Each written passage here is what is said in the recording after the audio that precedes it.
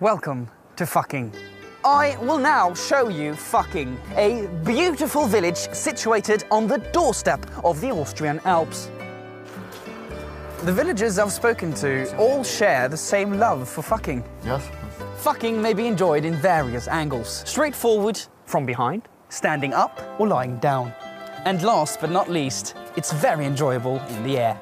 Historically, fucking was mostly popular amongst men, but during the 20th century, women have also come to love fucking. One of the reasons being the growing of fruits and vegetables, such as bananas, cucumbers, and perhaps corn.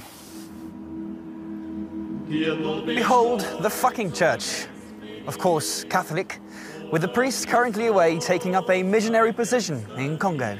Here we have the fucking school, where the fucking children learn everything there is to know about fucking. Ihr geht's in der Schule? Ja, zusammen. Eh, zusammen.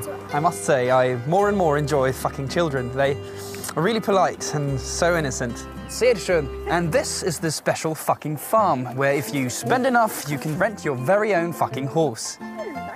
Oh, look at the black one. Such a stallion. Beautiful animals. And here, a woman who prefers fucking outside with the family dog. And I was lucky enough to meet the town mayor, commonly known as the motherfucker. If you're looking for the deepest fucking experience, I recommend this hole right here. Start with putting two fingers in. If possible, use your entire fist. In summertime, you can actually go elbow deep.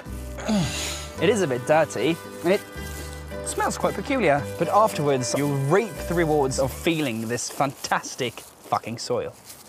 And that was all the fucking we had time for. But make sure you'll stay tuned also next week when we'll be visiting Sakatik, a rural village in the Czech Republic. This has been Nikolai Ram reporting for NRK. Bye bye.